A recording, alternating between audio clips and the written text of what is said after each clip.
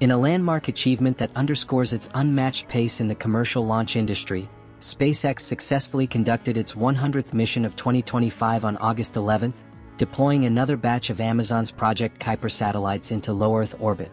The launch took place from Cape Canaveral Space Force Station in Florida, where the veteran Falcon 9 rocket lifted off precisely on schedule, marking yet another flawless operation in the company's relentless push to meet growing global demand for satellite connectivity.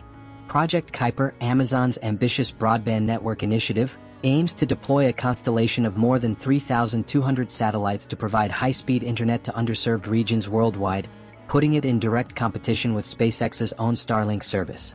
The mission carried dozens of Kuiper satellites, each designed to form part of the initial phase of the network, which will undergo rigorous in-orbit testing before full operational rollout.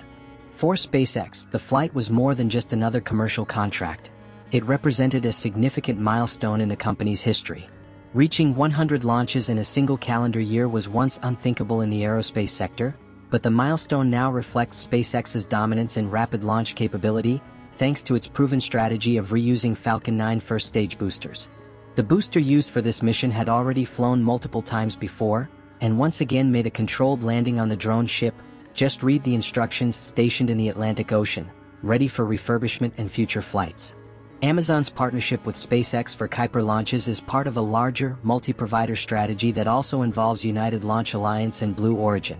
However, SpaceX's high launch cadence and reliability make it a critical partner for meeting Kuiper's deployment timeline.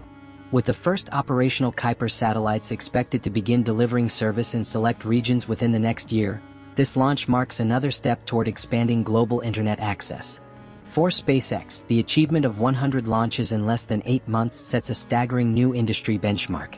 The company's long-term goals include ramping up Starship operations for larger payload capacities and even faster turnaround times, but the Falcon 9 remains the backbone of its current launch fleet.